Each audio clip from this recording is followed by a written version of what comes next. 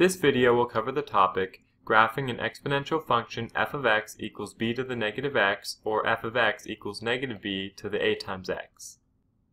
What is an exponential function?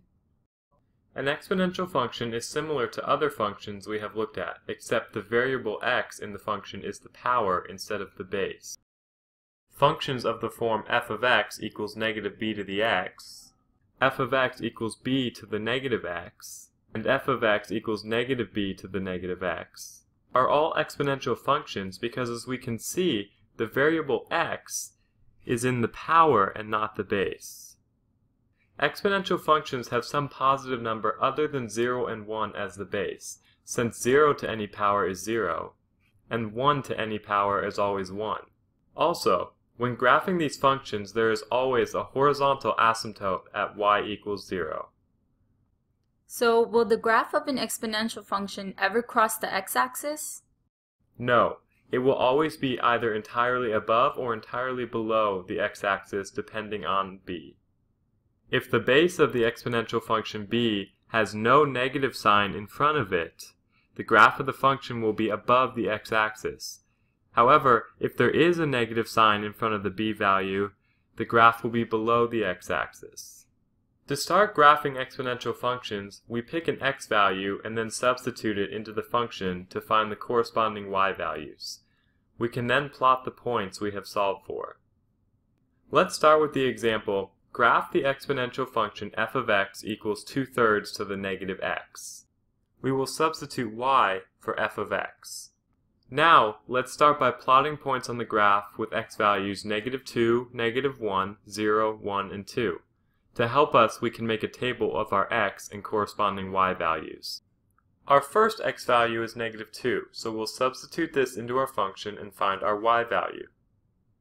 We have 2 thirds to the negative negative 2, but two negative signs make a positive, so this equals 2 thirds squared, which equals 2 thirds times 2 thirds, and this equals 4 over 9.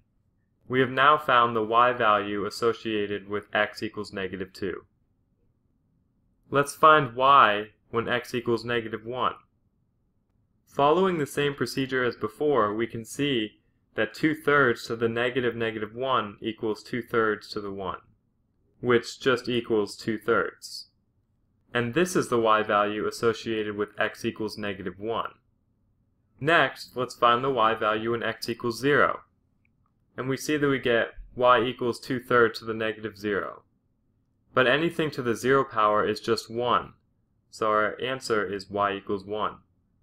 Now let's find the y value when x equals 1. We see we have 2 thirds to the negative 1. But how do we solve for y when our exponent is negative and not positive? Well, we take 1 over the base value 2 thirds and we can change the exponent from negative to positive as a result. This gives us just 1 divided by 2 thirds, which equals 3 halves. Finally, let's solve for our last y value when x equals 2. We will solve for this in a similar way as what we did previously when x equaled negative 1. This means we take 1 over the base value 2 thirds and change the exponent from negative to positive. This gives us 1 over 2 thirds squared. We saw from our first y value that 2 thirds squared equals 4 ninths, which means down here we have 1 over 4 ninths.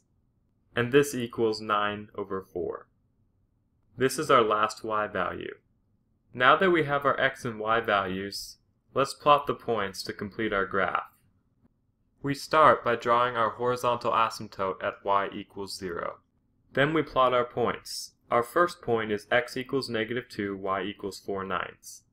Our second point is x equals negative 1, y equals 2 thirds.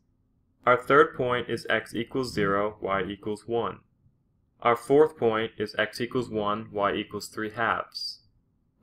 And our last point is x equals 2, y equals 9 fourths. Finally, we draw a curve through our points to complete our graph. For this exponential function, because there was no negative sign in front of our base value b, we assumed that the graph of this function would be entirely above the x-axis. And we can see that this is correct. So when graphing an exponential function, we first need to recognize that because of the horizontal asymptote at y equals 0, the graph will not cross the x-axis, it will either be entirely below or above the x-axis. Then we choose some x values and substitute them into the function to find the corresponding y values. Once we have find a few points, we can accurately plot our graph. You got it.